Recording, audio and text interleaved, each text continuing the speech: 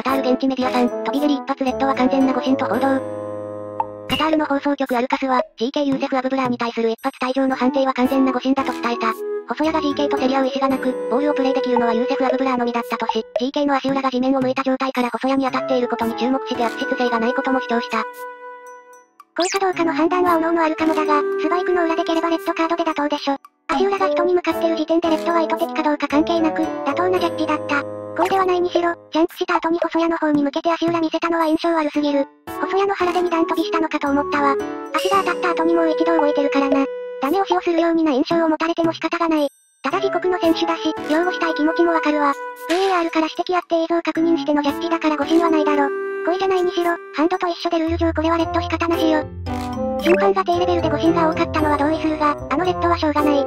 完全に蹴ろうとはしてなくとも飛ぶ前に細谷を認識してるし、足の動きも当てに行ってるように見える。恋じゃなくても足裏を止まってる相手に当てたらカードはしょうがないのでは？意図してないとしても危険な行為ということで一発レッドってことでしょ。実際レッドは厳しいなとは思ったけど、それはレフリーの判断でいいと思う。細谷をロイターいた代わりに2段ジャンプするのは斬新だけど、これはどの角度から見てもアウト。思いっきり足裏がお腹に入っていて完全な誤審打は通じないな。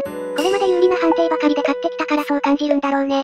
今大会でカタールが不可解なジャッジを指摘できるのはインドネシア戦じゃないの？カタールにとても有利な判定ばかりだったそっちは指摘しないの？こうではなければ退場はないと思ってる時点で終わってる。細谷の位置見てたし足裏入れてる時点で退場よ。VAR ある試合では通用しないよ。ジャンプして足があんな動きに自然になるとは思えんけどな。空中で踏み台にするかのように蹴ってるのはさすがに。